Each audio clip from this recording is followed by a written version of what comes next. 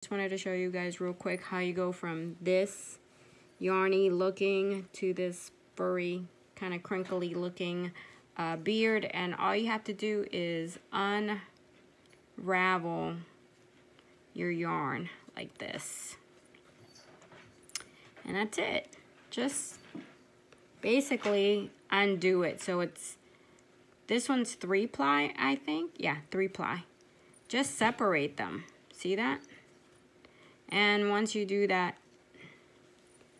um, it looks kind of crinkly instead of boring like this. All right, guys. Go do yours.